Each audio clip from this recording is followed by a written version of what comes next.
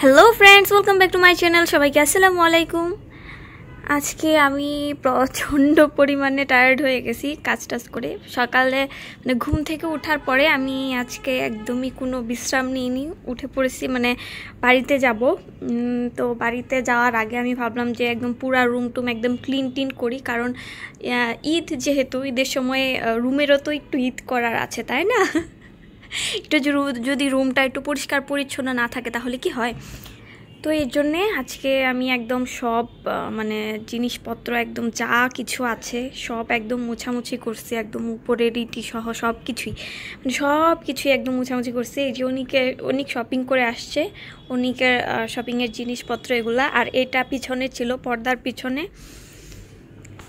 তো পর্দার পিছনে সেট আপটাও আমি চেঞ্জ করেছি। আমি এইমাত্র গোসল করে আসছি।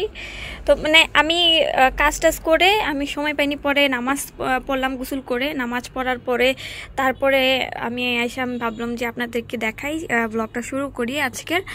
তো এই, এইটা শুধু আমার গুছানোর বাকি আছে। আমি এটা কালকে গুছাবো, কারণ বইটই সব কিছু এলোমেলো হয়ে আছে। আর আমি আমার কি বলে, গোলাপ জল বানানোর জন্য কিছু ফুল, আমি এভাবে গোলাপ ফুল যখনই আনে বাসায় ফুলের ইটি আনে, তো তখন আমি ফুলগুলো এভাবে শুকিয়ে রেখে দেই। রূপচর্চার কাজে লাগানোর জন্য এগুলো অন্যান্য ফুল আছে এগুলো। আর এই যে সাজগোজের কিছু জিনিস ছিল এটি ছিল, এগুলো এই, এইটা শুধু গুছানোর বাকি আছে। আর এই যে এখানে কাপড় চোপড় লাগা ক্লিপ টিপ আছে এটি আছে, এগুলো আছে। তো আমি এখানে টাওয়েলটা ই করে রাখছিলাম কারণ যাতে করে মানে রোদ এসে আমার এই টাওয়েলটা শুকায়। আর এই টেবিলটা তো এইখানে ছিল, আপনারা দেখেছিলেন যে এইখানে ছিল। তো আমি অনেক বলতেছে এখানে রাখলে না একটু জঙ্গল জঙ্গল লাগে, পচা লাগে। তো এর জন্য এখানে আনা হয়েছে। আর এই টেবিলটা ই করা হয়েছে। এখানে সারের ব্যাগ ট্যাগ ছিল। ওয়ালের চামড়া টামড়া উঠে এসেছে, যাই হোক, ওগুলাতে খেয়াল দিয়েন না। এখানে সারের ইটি ছিল, প্যাকেট ছিল, ওই সারের প্যাকেটটাও এখানে রাখা হয়েছে। আর ময়লা কাপড় চোপড়ের যেটা ঝুড়ি আছে, যেখানে কিনা ময়লা কাপড় চোপড় বা কাপড় চোপড় ইয়ে করার পরে তুলে আনি, এটা এখানে রাখা হয়েছে। তো মোটামুটি এটা হচ্ছে আমার এখন এই বাইরের সেট এখানে এখন ভালো হয়েছে, কারণ আগে এলোমেলো ছিল পুরাটাই। তো এখন ভালো হয়েছে, এখানে বসা যাবে, এখানেই করা যাবে।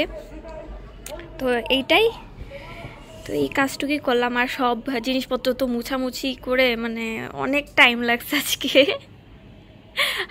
তো রোজা আসছে পর্যন্ত বেশি জিনিসপত্র প্রত্যেক দিনই মোছা হয়নি।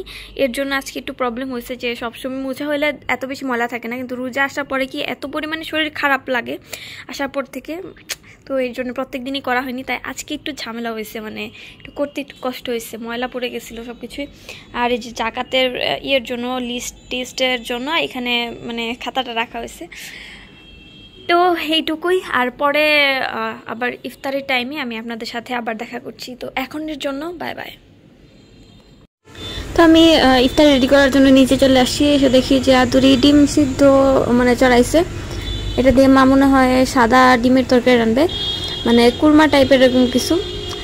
আর এখানে দেখি কি কি রান্না করে রাখছে। কলিজা রান্না করে রাখছে। এগুলো আমরা ইফতার খেতে খাব এর জন্য মা রান্না করে রাখছে। দেখে খুবই সুন্দর লাগতেছে লুবনীয় লাগতেছে। আর এটা হলো ট্যাংরা মাছের তরকারি।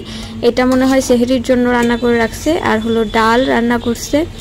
এটাও সেহেরির জন্য। আর হলো বুট, এইটা ইফতারির জন্য। আর পোলাও রান্না করবে। আপুরা তাদের গ্রামের বাড়িতে চলে যাবে ঈদ করার জন্য। তাই আজকে আপুদের লাস্ট ইফতারি আমাদের সাথে। আর আমি তো ভাত খাব, তাই আমার জন্য ভাত রান্না করবে।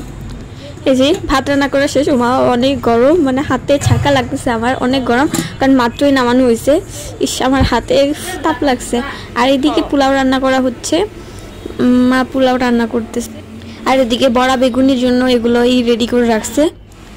এই তো মা ডিমের সাদা তরকারি রান্না করে ফেলছে। এটাকে কুরমাও বলা চলছে না, কারণ মশলাটা একটু বেশি কষা কষা হয়ে গেছে।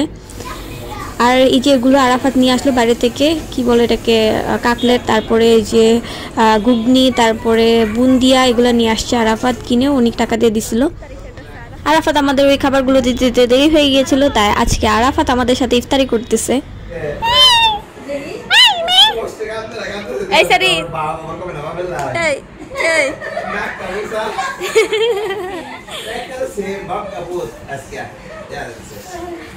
টেবিল টেবিল সব আমাদের পরিষ্কার এই অবস্থায় আমরা মজা করতেছি সবাই না গুছায়া সবাই আমরা বসে বসে গল্প করতেছি মজা করতেছি এ টেবিল গুছা দুরি আইরা গলা সাইরা দিছে